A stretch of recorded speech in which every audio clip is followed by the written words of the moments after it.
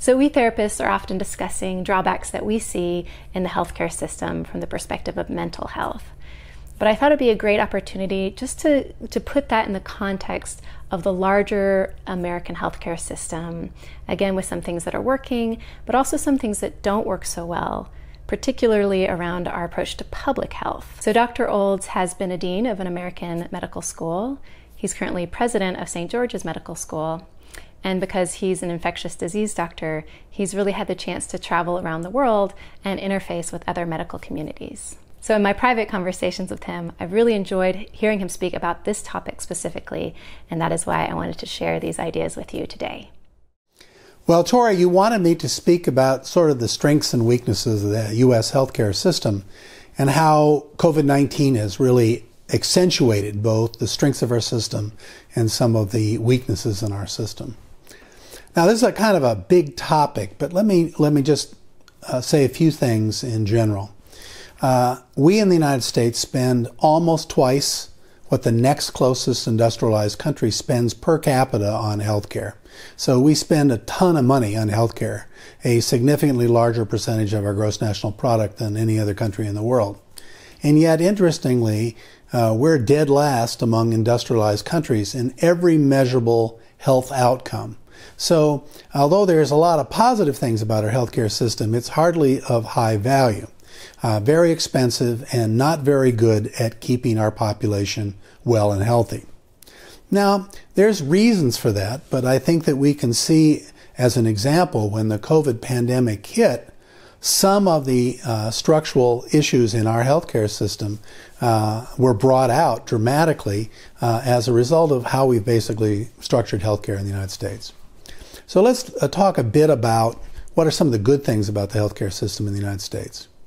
We're probably the best in the world at taking care of acutely ill patients. We're really good at that. Uh, we have uh, the latest technology. We have most of the latest drugs and therapies. We have very highly trained professionals, doctors, nurses, and others. And we do a lot of research on an ongoing basis to figure out what's the best way to care for people. That's one of the real strengths of our program. And you can see that when COVID 19 hit uh, obviously, people got extremely ill and were hospitalized in intensive care units. But within two to three months, the mortality rate for people that were infected with COVID dropped by almost 50%. So uh, today, uh, you know, about uh, twice as many people survive COVID 19 when they get infected and get extremely ill than they did at the beginning of the pandemic. And that's quite a testament to the quality of our healthcare system. In addition, you obviously know that uh, within less than a year, we've developed highly effective and safe vaccines. We have developed therapies that uh, work statistically in, in sick hospitalized patients, and we have many other specific antiviral drugs that are in the pipeline that will, I think will be released in the relatively near future. So, those are all the strengths of our healthcare system. On the other hand, we're really terrible at public health and wellness. Now, I'll just give you an example. Costa Rica, which has 125th the per capita gross national product of the United States, outperforms the United States in every measurable health outcome. You know, uh, child mortality, um, maternal mortality, uh, uh, immunization rates, uh, you know, treatment of diabetes, heart attacks, etc. How does a little country, not a very rich country, outperform the United States? Well, they, for one thing, put a lot more emphasis on public health and wellness. Uh, because it's both very cost effective uh, to uh, keep people well, and people generally prefer to stay well than to get sick. Kind of the American way is to let people get desperately ill and then save their lives at the end. Now, that's a good skill to have. We teach all of our medical students how to save lives at the end, but you know, we have to do a better job of keeping people from getting sick in the first place, and that's really a major weakness of our country. One of the other major weaknesses in our country is that we are the only industrialized country in the world that allows people to not have health insurance. And so we have a lot of variation in the quality of health care that's delivered to Americans. So if you're poor in our country, uh, you get very expensive but very poor quality health care in general. And that's because they may not pay for it, you know, uh, everybody else pays for it. But we let people get sick and they get their health care in emergency rooms and hospitalizations, etc.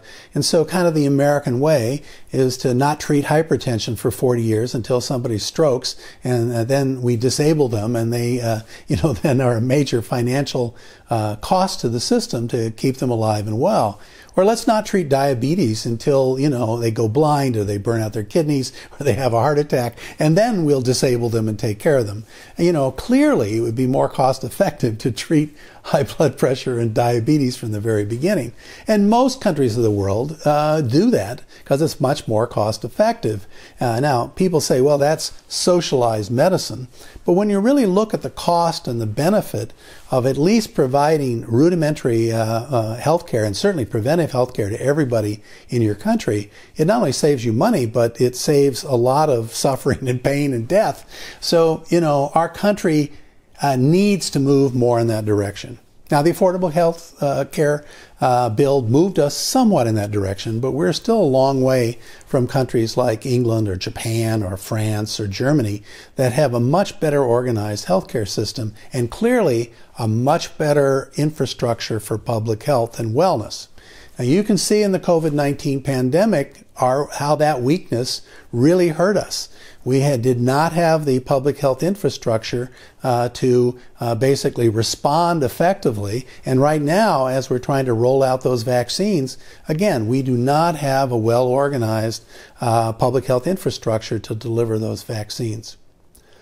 Now, we really have the healthcare system that we decided to pay for. So the reason we have this very expensive uh, healthcare system that doesn't necessarily keep people well and healthy is because we don't pay healthcare professionals, doctors, etc., to keep us well we pay them to basically take care of us when we get sick, uh, you know, or to do things. You know, uh, we pay them a lot for doing procedures and operations, etc. But we don't pay them much for thinking about things or making sure that we stay well. This is, leads to a lot of sort of bizarre behavior by physicians. You know, if uh, uh, you call up your doctor because you've been on the same blood pressure medicine for five years and you just ran out, your doctor will usually suggest you've got to come in and see him or her that's not because they need to be seen. It's because they want to give you an office charge because clearly it'd be easier just to call in the prescription, but they don't make any money doing that. So, you know, instead of paying the doctor to basically take care of people, no matter how they do that, you know, it's all based on visits or procedures or giving medications, etc. And so, not surprisingly, uh, we do a lot of those in this country. So I already commented on by the fact that poor people get very expensive uh, but not very high quality health care. Uh, there are clearly people in the middle that get uh, reasonably high quality med- medical care for reasonable uh, amount of money. And uh, Kaiser would be a good example of a managed healthcare system, and I think does a reasonable job of doing that. But interestingly, we have problems on the other side too. Uh, you know, uh, wealthy people don't necessarily get the best of healthcare. They often get more healthcare than they really need or that science would justify because, of course, uh, the system will pay for unnecessary tests, even unnecessary surgeries, because we're not very good at uh, uh, policing value in healthcare. So, you know, we have a lot of variation in the quality of our healthcare, uh, and uh, that comes back to hurt us when we have a big pandemic like the one we're facing.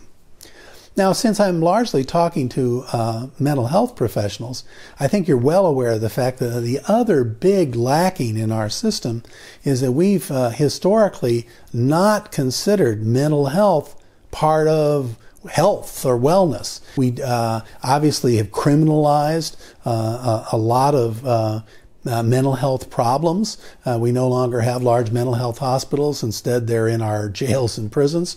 And, you know, we haven't done a particularly effective job of dealing uh, with addiction, et cetera. In fact, as you well know, the uh, opioid uh, uh, was actually driven by the, the, healthcare system, and we're now trying to fix that problem. But we've not given appropriate emphasis to mental health issues. Uh, look at the problems in our VA.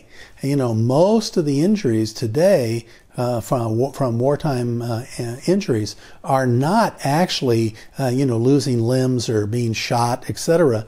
Uh, they're mostly uh, mental trauma. We have huge problems with mental health issues in our former servicemen, suicides, etc. And we do not have an adequate mental health infrastructure to care for them. So uh, that's also uh, been emphasized uh, by the COVID pandemic.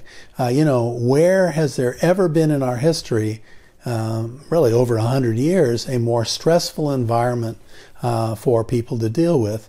And uh, we unfortunately have an inadequate mental health support systems for them. And clearly that's been brought to a fore as a result of this pandemic. Well, one of the other tragic things that the COVID pandemic has brought out is the major health disparities that occur in the United States. And these are both ethnic uh, and racial disparities as well as economic disparities.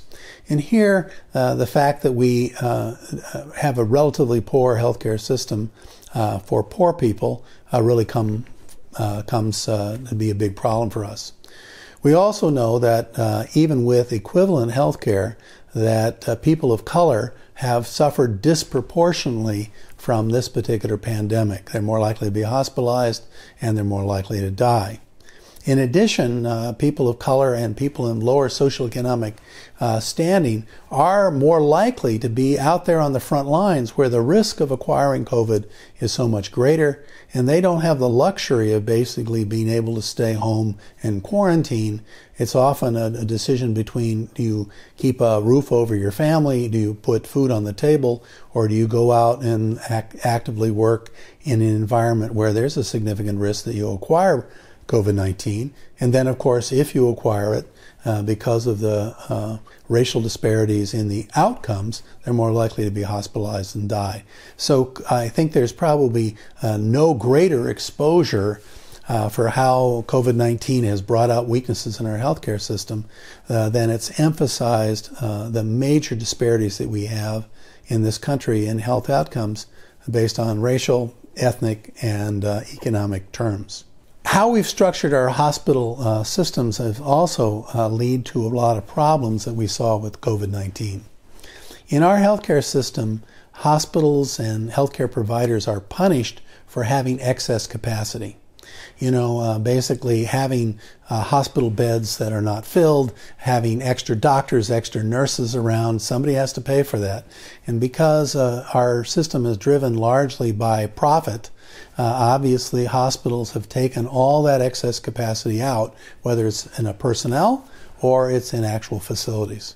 Now, in a state managed system, like most of the rest of the industrialized world, uh, the state pays for redundancy and excess capacity, both from a manpower and from a hospital standpoint. And this is why in the United States, we relatively quickly reach a point where we can't take care of any more patients and we don't have any more healthcare professionals because we really have no surge capacity in our system. Whereas you look at most European countries, they obviously have built in a certain amount of capacity and redundancy because they know that periodically there will be stresses on the system, and they basically have provided that extra uh, buffer really as a public cost rather than as a private cost. And the COVID pandemic has clearly brought that out. Uh, you know, and clearly this is why New York City at the beginning was uh, having terrible troubles dealing with the COVID pandemic, and why California now is having great difficulty dealing with its surge of infections, is that those states just don't have excess capacity. So clearly, you know, it would be wise if the United States built in a little extra redundancy in things that they might need. And if you're saying, you know, well, that's just going to cost even more money. Well, the truth is there's a lot of things that we really waste money on, that we have excess capacity uh, that is really unnecessary. And uh, we, there are some examples of that around as well. You know, we actually have a lot of competition. So, uh, you know, and they tend to be competition around things that have high reimbursement.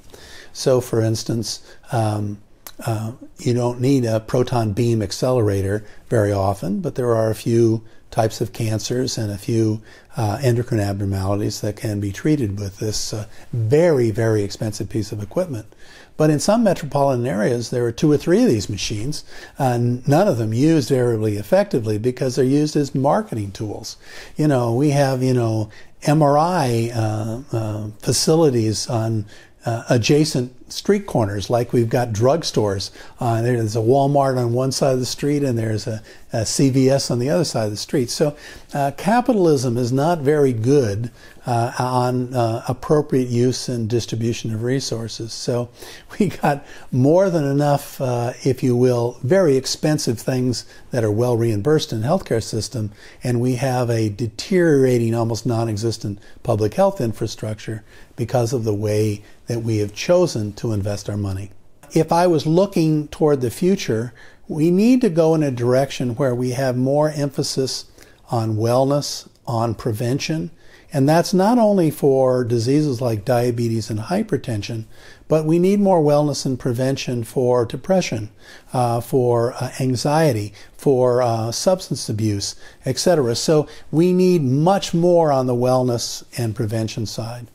On the treatment side, we need to make sure that healthcare professionals are basically uh, paid for improving the health of their patients, not just doing things to them. And uh, that will require some fundamental changes in how we reimburse healthcare professionals for the work they do. I think that uh, the pandemic has a lot of negative things that uh, we've had to respond to, but I'm at least hopeful that having faced a probably the greatest pandemic in the last hundred years and expose some of the intrinsic problems in our healthcare system, that we will have a fighting chance of improving them as we move forward. Thank you so much for watching. If you found this video helpful, you can help me out by liking and subscribing. Or if you're a therapist and are interested in training with me while earning online CEUs, feel free to visit my website, toriolds.com.